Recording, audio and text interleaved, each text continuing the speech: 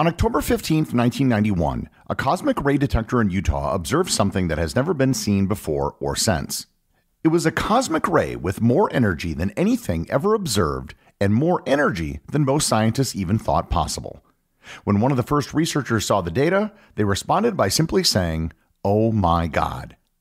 Learn more about the OMG particle, what it was, and what it means on this episode of Everything Everywhere Daily.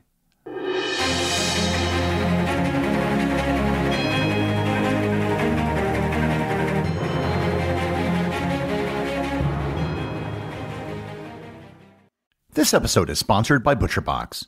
The holiday season is approaching, which means sharing meals with friends and family. If you're planning a meal for the holidays, you're going to want to get the finest meats, poultry, and seafood, and that is where ButcherBox comes in.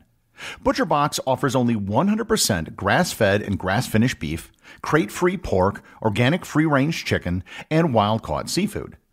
But if you're interested in something a bit more traditional, at least for Americans, they also have something that you and your family might want for the holidays turkey.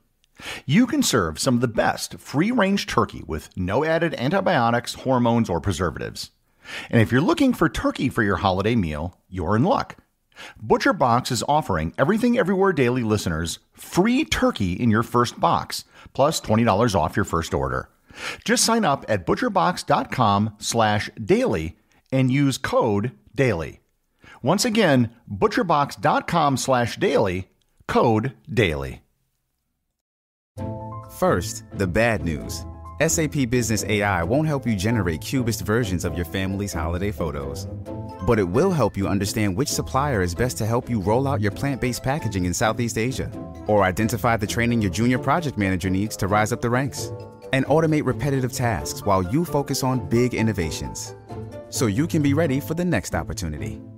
Revolutionary technology, real world results. That's SAP Business AI. The way science is supposed to work in theory is that someone comes up with a hypothesis and then develops an experiment to test it. Much of science works that way, but there are certain things that you simply can't conduct experiments on. Astronomy is such a discipline. It's based on observation. They observe the universe as it is and then try to create hypotheses that explain all of their observations in a coherent manner. But every so often, there is an observation that throws a wrench into everything. It requires a complete reappraisal of what we know and the theories used to describe what we know. This episode is about such an observation which took place in 1991. Before I get into the details of what happened in 1991, there are several things I'll need to explain to help make sense of everything. And the first thing is understanding what cosmic rays are. I've previously done an entire episode on cosmic rays, including the history of their discovery. Cosmic rays are high energy particles that are zooming around in space in pretty much every direction. About 90% of all cosmic rays are hydrogen atom nuclei that have been stripped of their electrons, aka protons. The remaining 10% are atomic nuclei from helium or heavier atoms which have been stripped of their electrons. These particles are traveling at velocities near the speed of light, most of which originated well beyond our solar system. When these particles hit the Earth's atmosphere, they usually result in high energy collisions with atoms and molecules. These collisions then create new particles and radiation, which rain down on the Earth. This is very similar to what is happening inside a particle accelerator like the Large Hadron Collider. Particles are accelerated to high velocities and then smashed into other particles so the collisions can be observed. These collisions happen in the atmosphere all the time, often at energies far greater than what we can achieve in a particle accelerator. One square centimeter of the upper atmosphere is, on average, hit with a cosmic ray once every minute. Cosmic rays can have a wide array of energies. The least energetic particles are the most common, and then they can increase in energy dramatically, with the most energetic particles being very rare. Extremely energetic particles may hit the atmosphere as rarely as once per century for every square kilometer. The energy contained in these cosmic ray particles is what this episode is all about. The unit of energy used in particle physics is called an electron volt. An electron volt is an extremely small unit of measurement. The definition of an electron volt is the amount of kinetic energy gained by a single electron accelerating from rest through an electric potential difference of 1 volt in a vacuum. So, electron volts are a measure of energy similar to joules, the only difference being that 1 joule is about 10 to the 19 times larger than 1 electron volt. Electron volts are so small that in practice, particles are usually measured in mega, giga, or tera electron volts. Most common cosmic rays will be in the giga electron volt range. The most energetic particles accelerated by the Large Hadron Collider have achieved 13.6 tera electron volts. Because the mass of a proton remains stable, the only way to increase the kinetic energy of a particle is to increase its velocity. By the same token, a heavier particle like a helium nucleus would take more energy to reach the same velocity. As you might know, there is a limit to how fast something can go. Nothing can go faster than the speed of light. The closer you approach the speed of light, the more energy it takes to get ever closer. This is something we barely notice at the speeds we live at, but as you start approaching the speed of light, this starts to become an issue. To go the speed of light itself would require an infinite amount of energy. All of that should lay the foundation for the subject of this episode. Particle colliders, like the Large Hadron Collider, are great for doing controlled observations of what happens when particles collide. However, there are higher energy collisions taking place all the time above our heads with cosmic rays. So, observatories were created to attempt to observe cosmic rays or more accurately, the interaction of cosmic rays with the upper atmosphere. One such observatory was the Fly's Eyes Cosmic Ray Detector, which was operated by the University of Utah. At the time, it was an experimental observatory that was operated in the Dugway Proving Ground, which was a large 800,000 acre tract of land in Utah that the U.S. Army used for weapons testing. The observatory had 100 detectors, each equipped with a 1.5 meter wide mirror to look for the flash of particles colliding in the atmosphere. When a cosmic ray hits the atmosphere, it creates a cascade of particles and radiation. The energy of the cosmic ray can be determined by the size of the cascade. On October 15, 1991, an observation was made that astounded the researchers. They observed a cosmic ray that had an energy equivalent of 320 exa electron volts. That number is so incredibly large that most of you probably don't even know what the prefix exa even means. Mega, of course, means millions, giga means billions, tera means trillions, penta means quadrillions, and exa means quintillions. The cosmic ray had an energy of 320 quintillion electron volts or the equivalent of 51 joules of energy. The energy equivalent in that single particle was the equivalent of a 56 mile per hour or 90 kilometer per hour baseball, or the equivalent of dropping a bowling ball from shoulder height. All of that energy packed into a single particle that was believed to have been a proton. It was about 40 million times greater than the most powerful particle that could be accelerated in the Large Hadron Collider.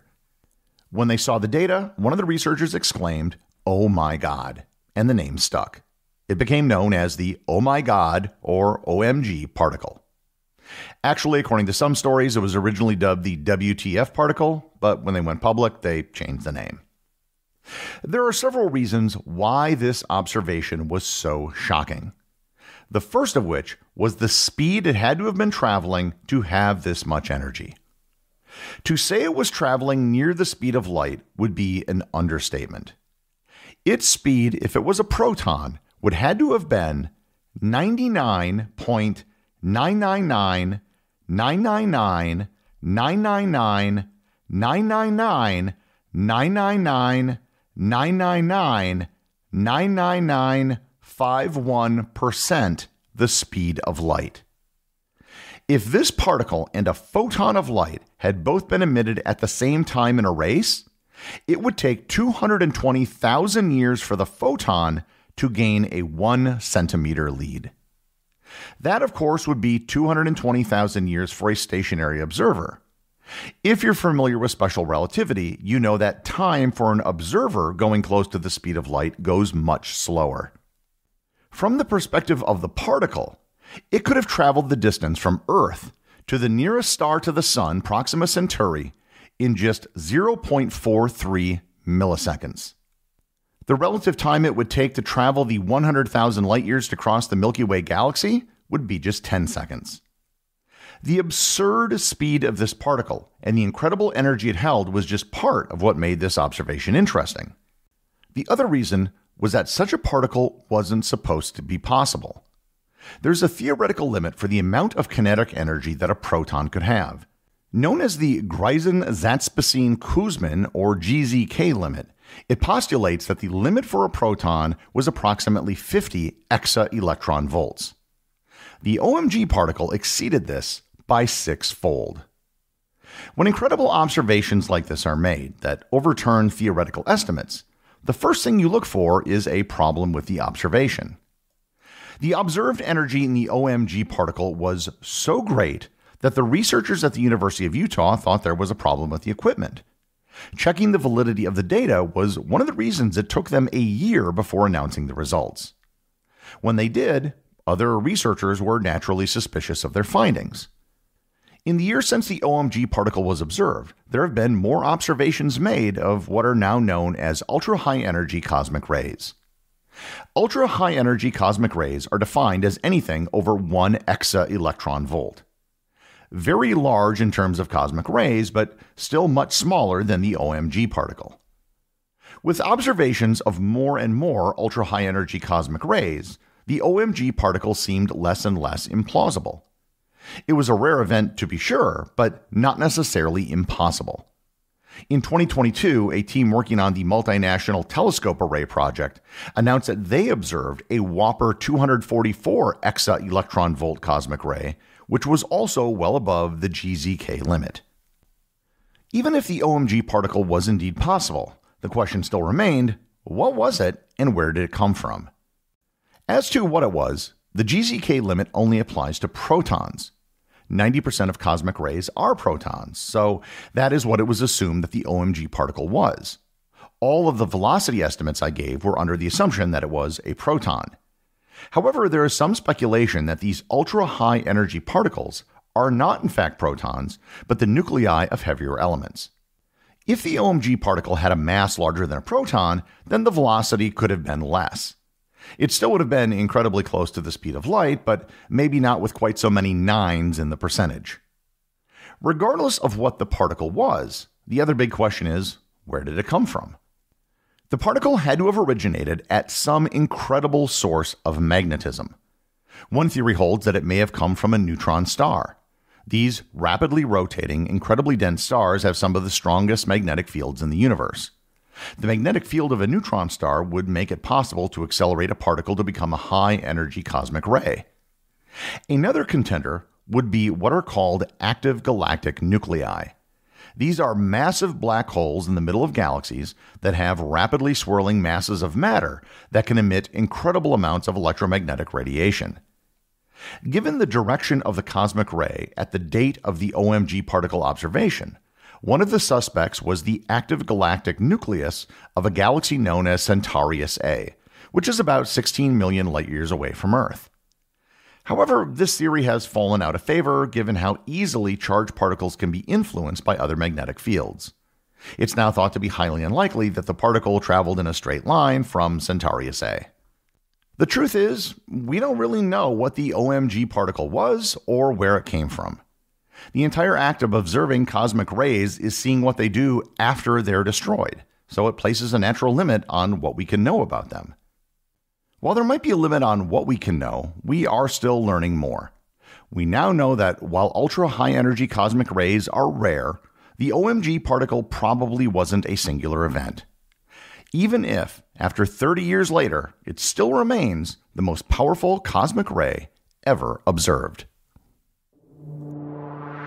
The executive producer of Everything Everywhere Daily is Charles Daniel. The associate producers are Peter Bennett and Cameron Kieffer. Today's review comes from listener Panayotitso over on Spotify. They write, Hi from Crete. Yesterday, I entered the Completionist Club, and I can say that this is the only podcast where you can learn everything from an emperor you've never heard of before to how airplanes work in a week. Thanks, Panayotitso. I'm happy to hear that we have a chapter of the Completionist Club on one of my favorite Greek islands and near the center of the Minoan civilization. Remember, if you leave a review or send me a boostagram, you too can have it run in the show.